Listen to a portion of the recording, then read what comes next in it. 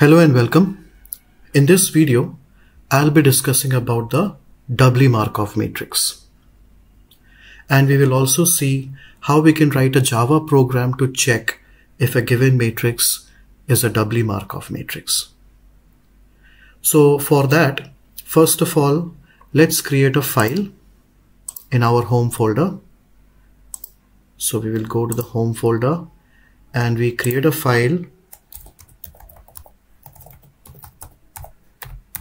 doubly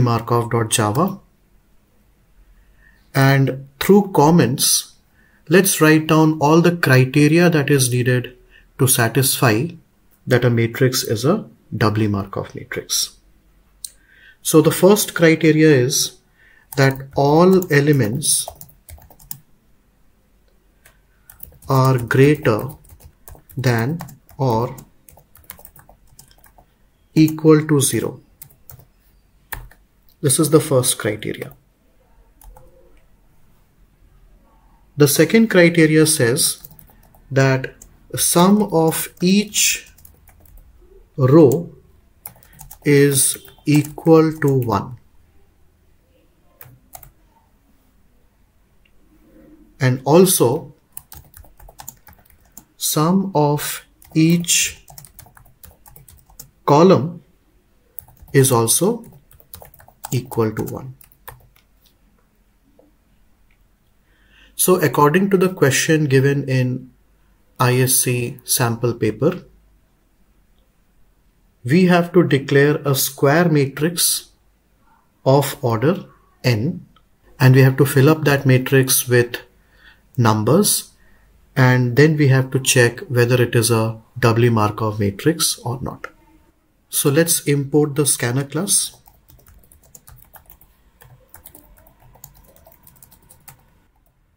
And we create a class doubly Markov.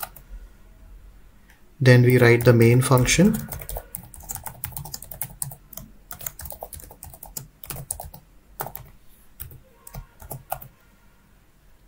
We create the scanner object.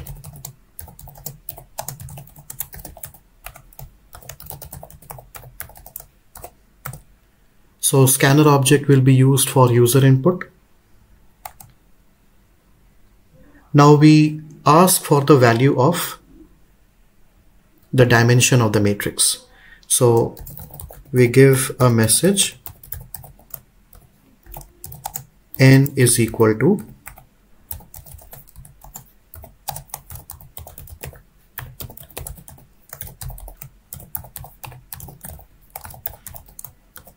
So we have input the value of n, the size of the matrix, the square matrix, and according to the sample question, it is said that the value of n should not be less than 3 and it should also not exceed 9.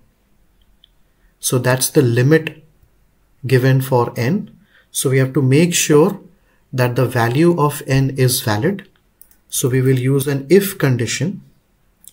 If n is less than 3 or n is greater than 9. So in any of these cases, we can say that it is invalid.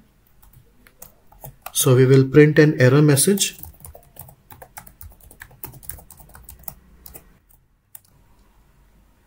and then we call the return keyword.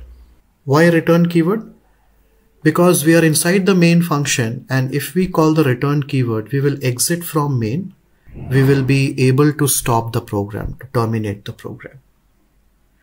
And if the value of n is a valid value, if it is in range, then this if condition block will be skipped and now we will be able to create the array. So the data type of the array should be double here. So I'm giving the name of the array as M, M for matrix. And it is a square matrix. So for both row and column, I have given the size N. Next, I will take a boolean variable is negative and I will set it to false initially. So here I am assuming that the values are not negative. The values that will be entered, it will not be negative. That is why I have kept is negative as false. I take another boolean variable is Markov and I set that to true. That means I'm assuming that the given matrix is a doubly Markov matrix, but my assumption can be wrong also in that case. If it's wrong, I will change the value to false. Next, I ask the user to enter the elements for the matrix. Enter elements in the matrix.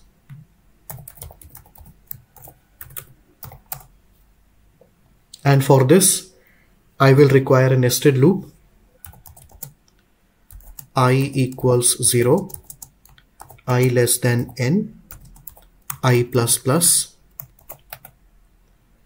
And here, while I am inputting the values into the matrix, I will also find the sum of each and every row.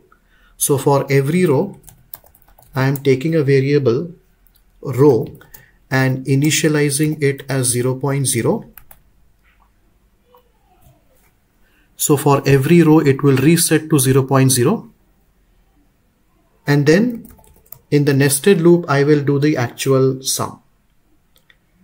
So for j equals 0, j less than n, j plus plus.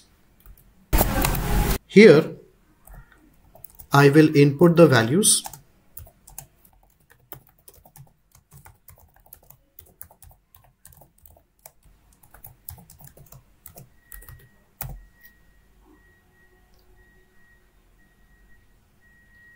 Once the value is input, I will check whether it is negative or not because one criteria is that it should not be negative. Each and every element should be 0 or greater than 0. So that's why as soon as the value is entered, I check if mij is less than 0. So in that case, I set is negative to true because initially it was false. But if I find that if any value is negative, I set it to true. And I also find the sum of the elements in a given row. So for that, row plus equals to mij. Once the sum of a given row is calculated in the inner loop, what I will do next? I will check whether the sum is equal to 1.0 or not. If it's not 1.0, then it is not a doubly Markov matrix. So that is why if the sum is not equal to 1.0, in that case, is Markov will change to false. Once we have finished entering all the elements into the matrix, now I will check if there was any element which was negative. So I will write if is negative.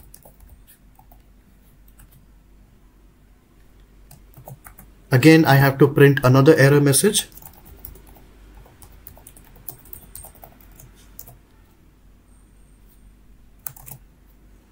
Negative numbers entered.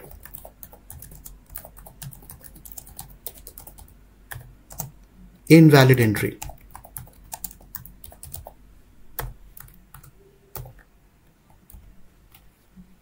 And here also I call the return keyword because I don't want to proceed any further. I want to stop the program.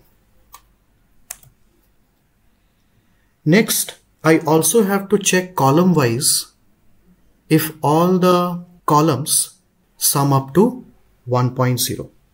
So once again, I require a nested loop. But here, instead of i, I will now take j is equal to 0 because I have to go column wise. J is less than n, j plus plus.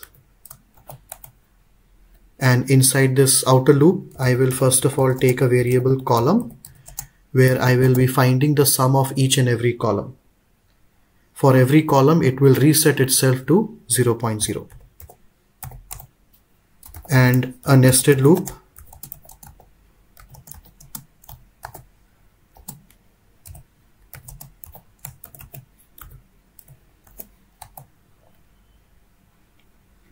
So here column plus is equal to m of ij. Once the sum is calculated for a given column, I can check whether it is 1.0 or not.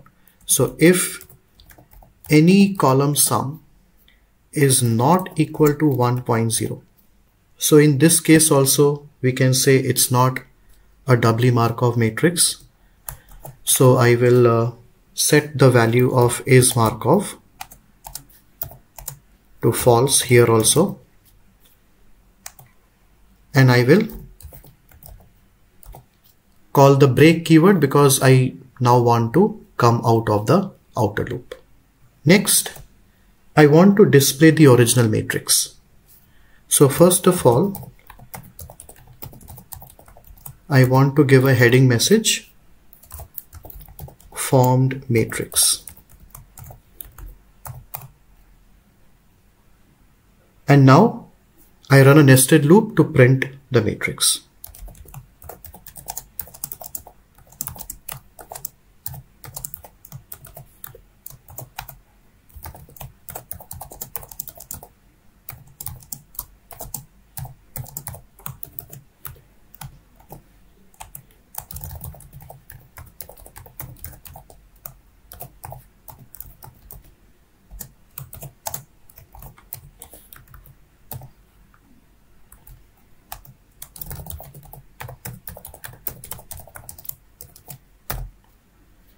So in this inner loop, we are printing one complete row. And once we finish printing one complete row, we are going to the next line by changing the cursor using the println. And after printing the original matrix, now we are checking whether it is is Markov or not. So we will use the if statement here. If is Markov, we will check the value of is Markov. If it's true, then we can say that yes, it's a doubly Markov matrix, else it is not. So let's print the message accordingly.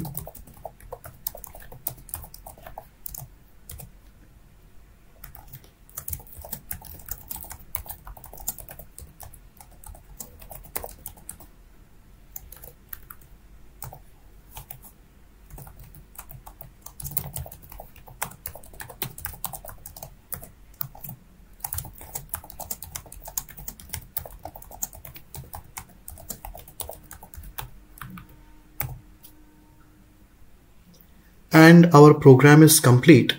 And let's now save it and check the output. So let's compile.